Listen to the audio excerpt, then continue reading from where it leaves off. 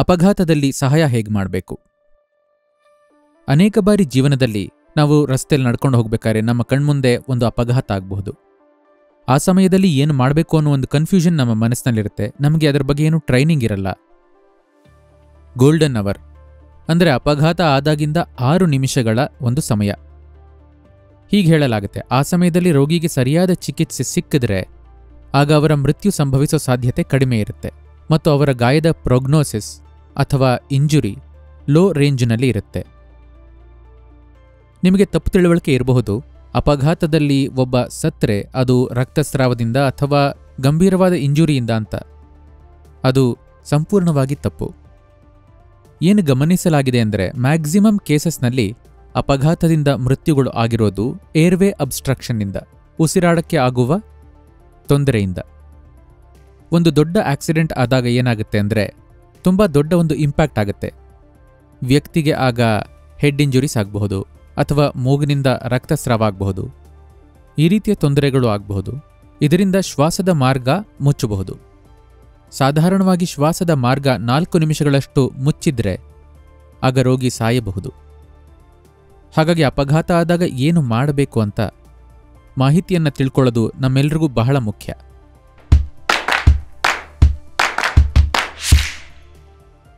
ನಮಸ್ಕಾರ.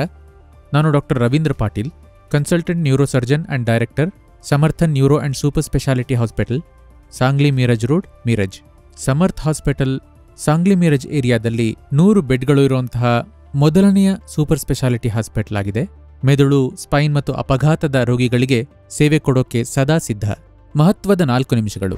ಅಪಘಾತ ಮೃತ್ಯುವಿಗೆ ಸಾಮಾನ್ಯವಾದ ಕಾರಣ ಅಂದರೆ ಆಕ್ಸಿಜನ್ ಸಪ್ಲೈ ಕಡಿಮೆ ಆಗೋದು. ಇದಾಗೋದು ಮುಖ್ಯವಾಗಿ ಏರ್ವೇ ಅಬ್ಸ್ಟ್ರಕ್ಷನ್ನಿಂದಾಗಿ.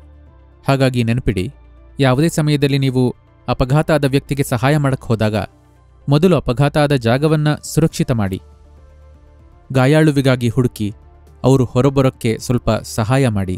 ತಕ್ಷಣ ಅಕ್ಕಪಕ್ಕದ ಜನರನ್ನ ಸಹಾಯಕ್ಕಾಗಿ ಕೂಗಿ ಅಥವಾ ಆಂಬ್ಯುಲೆನ್ಸ್ಗೆ ತಕ್ಷಣ ಕರೆ ಮಾಡಿ. ಅದಕ್ಕೆ ಒಂದು ಸೊನ್ನೆ ಎಂಟಕ್ಕೆ ಕಾಲ್ ಮಾಡಿ.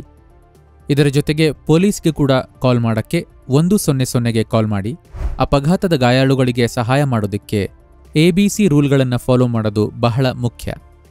ಈ ಎ ಬಿ ಸಿ ಅಂದರೆ ಏನು? ಎ ಫಾರ್ ಏರ್ವೆ, ಅಂದರೆ ಗಾಯಾಳು ಸರಿಯಾಗಿ ಉಸಿರಾಡೋಕ್ಕೆ ಸಹಾಯ ಮಾಡೋದು.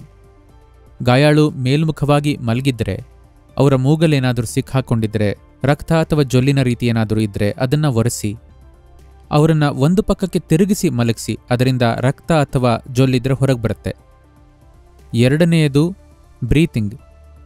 ಗಾಯಾಳು ಉಸಿರಾಡ್ತಿಲ್ಲ ಅನ್ನೋದಾದರೆ, ಆಗ ನೀವು ಅವರಿಗೆ ಮೌತ್ ಟು ಮೌತ್ ಬ್ರೀತಿಂಗ್ ಕೊಡಬಹುದು. ಮತ್ತು ಮೂರನೆಯದು, ಸರ್ಕ್ಯುಲೇಷನ್. ಗಾಯಾಳುವಿನ ನಾಡಿ ನೋಡಿ.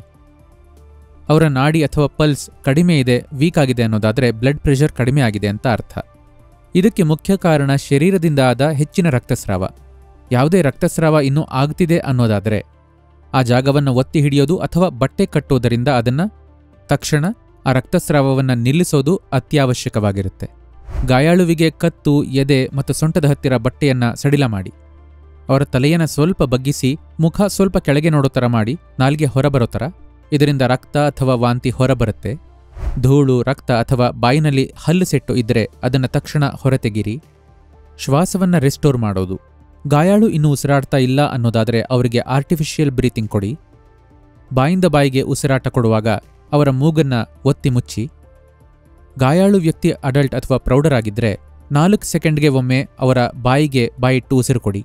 ಗಾಯಾಳು ಮಗು ಆಗಿದ್ದರೆ ಪ್ರತಿ ಮೂರು ಸೆಕೆಂಡ್ಗೆ ಒಮ್ಮೆ ಕೊಡಿ. ಒಮ್ಮೆ ಊದಿದ ನಂತರ ತಲೆ ಎತ್ತಿ ಪಕ್ಕಕ್ಕೆ ನೋಡಿ. ಗಾಯಾಳುವಿನ ಎದೆ ಉಬ್ಬಿ ಮತ್ತೆ ಆಮೇಲೆ ಒಳಗೆ ಹೋಗುತ್ತಾ ಅನ್ನೋದನ್ನು ನೋಡಿ, ಮೂಗು ಅಥವಾ ಬಾಯಿಂದ ಗಾಳಿ ಹೊರಬರೋ ಶಬ್ದ ಇದೆಯಾ ಅಂತ ಗಮನಿಸಿ. ನೀವು ಬಾಯಿಗೆ ಬಾಯಿಟ್ಟು ಉಸಿರನ್ನ ಊದಿದಾಗ ಒಂದು ವೇಳೆ ಅವರ ಎದೆ ಉಬ್ಬದೇ ಇದ್ರೆ ಇದರ ಅರ್ಥ ಶ್ವಾಸದ ಮಾರ್ಗದಲ್ಲಿ ಇನ್ನೂ ಏನೋ ಅಡಚಣೆ ಇದೆ ಅಂತ. ಅದಕ್ಕಾಗಿ ಹುಡುಕಬೇಕಾಗತ್ತೆ. ಸರ್ಕ್ಯುಲೇಷನ್. ರಕ್ತ ಬರ್ತಿರೋ ಗಾಯದ ಜಾಗವನ್ನು ತೆರೀರಿ. ರಕ್ತ ಬರ್ತಿರೋಂಥ ಆ ಗಾಯದ ಮೇಲೆ ಒಂದು ಬಟ್ಟೆನೋ, ಪಟ್ಟಿನೋ, ಬ್ಯಾಂಡೇಜೋ ಏನೋ ಇಟ್ಟು ಒತ್ತಿ ಹಿಡಿದು ರಕ್ತಸ್ರಾವನ ನಿಲ್ಲಿಸಿ. ರಕ್ತಸ್ರಾವ ಆಗ್ತಿರೋ ಕೈ ಅಥವಾ ಕಾಲು ಸ್ವಲ್ಪ ಎತ್ತರದಲ್ಲಿ ಇರೋ ಥರ ನೋಡ್ಕೊಳ್ಳಿ. ಇದರಿಂದ ರಕ್ತಸ್ರಾವ ಕಡಿಮೆ ಆಗುತ್ತೆ. ರಕ್ತಸ್ರಾವ ಆಗ್ತಿರೋ ಜಾಗದಲ್ಲಿ ಯಾವುದೇ ವಸ್ತು ಕಸಕಡ್ಡಿ ಇದ್ದರೆ ಅದನ್ನು ನೀವು ತೆಗೆಯಕ್ಕೆ ಹೋಗಬೇಡಿ. ಅದರಿಂದ ರಕ್ತಸ್ರಾವ ಹೆಚ್ಚಾಗಬಹುದು. ಒಂದು ಪ್ಯಾಡ್ ತಗೊಂಡು ಗಾಯದ ಸುತ್ತ ಬ್ಯಾಂಡೇಜ್ ಮಾಡಿ. ಮುರಿದಿರುವಂತಹ ಮೂಳೆಗಳು ನಿಮಗೆ ಕಾಣ್ತಾ ಇದ್ದರೆ ಅದಕ್ಕೂ ಕೂಡ ನೀವು ಹೀಗೆ ಪ್ಯಾಡ್ ಹಾಕಿ ಬ್ಯಾಂಡೇಜ್ ಮಾಡಿ. ಬಿ ಎಲ್ ಎಸ್ ಮತ್ತು ಎ ಸಿ ಎಲ್ ಎಸ್ ಕೋರ್ಸ್ಗಳನ್ನು ಮಾಡ್ಕೊಳ್ಳಿ.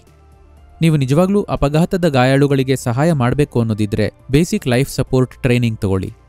ಸಾಧ್ಯ ಆದರೆ ಅಡ್ವಾನ್ಸ್ ಕಾರ್ಡಿಯಾಕ್ ಲೈಫ್ ಸಪೋರ್ಟ್ ಅನ್ನುವ ಟ್ರೈನಿಂಗನ್ನು ಕೂಡ ನೀವು ತಗೋಬಹುದು ಈ ಟ್ರೈನಿಂಗ್ಗಳನ್ನು ತಗೊಳ್ಳೋಕ್ಕೆ ಸ್ವಲ್ಪ ಹಣ ಖರ್ಚಾಗಬಹುದು, ಆದರೆ ನೆನಪಿಡಿ, ಯಾವತ್ತೋ ಒಂದು ದಿನ, ಯಾವುದೋ ಒಂದು ಸಮಯದಲ್ಲಿ ನೀವು ತಗೊಂಡ ಈ ಟ್ರೈನಿಂಗ್ನಿಂದ ಯಾರೋ ಒಬ್ಬರ ಜೀವ ಉಳಿಬಹುದು, ಜನಜಂಗುಳಿಯನ್ನು ನಿರ್ವಹಿಸೋದು. ಈ ಥರ ಅಪಘಾತಗಳಾದಾಗ ಜನ ಅಲ್ಲಿ ತುಂಬ ತುಂಬಿಕೋತಾರೆ. ಈ ರೀತಿ ಜನ ಬಂದು ಅಲ್ಲಿ ಒಮ್ಮೆಲೆ ತುಂಬಿಕೊಳ್ಳೋದು ಗಾಯಾಳುವಿಗೆ ತೊಂದರೆ ಆಗಬಹುದು. ಗಾಯಾಳುಗೆ ಇದರಿಂದ ಸಫೋಕೇಟ್ ಆಗಬಹುದು. ಅಂದರೆ ಉಸಿರಾಡೋಕ್ಕೆ ತೊಂದರೆ ಆಗಬಹುದು. ಇಂತಹ ಸಮಯದಲ್ಲಿ ನೀವು ಅಧಿಕಾರದಿಂದ ಮಾತಾಡೋದು ತುಂಬ ಮುಖ್ಯ. ಜನಸಂದಣಿನ ನೀವು ಕಡಿಮೆ ಮಾಡಬೇಕು. ಅದರ ಜೊತೆಯಲ್ಲೇ ನೀವು ತಕ್ಷಣ ಪೊಲೀಸ್ಗೆ ಕೂಡ ಕಾಲ್ ಮಾಡಬೇಕು ಒಂದು ಸೊನ್ನೆ ಸೊನ್ನೆ ನಂಬರ್ಗೆ. ಬಹಳಷ್ಟು ಸತಿ ಪೊಲೀಸ್ ನಿಮ್ಮನ್ನ ಬಹಳ ಪ್ರಶ್ನೆಗಳನ್ನು ಕೇಳ್ತಾರೆ. ಅದಕ್ಕೆ ನೀವೇನು ಹೆದರಬೇಡಿ. ಅವರು ಸತ್ಯಾಸತ್ಯತೆಯನ್ನು ತಿಳ್ಕೊಳಕ್ಕೆ ಹಾಗೆ ಮಾಡ್ತಾರೆ. ಪೊಲೀಸ್ ನಿಮಗೆ ಯಾವುದೇ ರೀತಿ ತೊಂದರೆಯನ್ನು ಕೊಡೋದಿಲ್ಲ.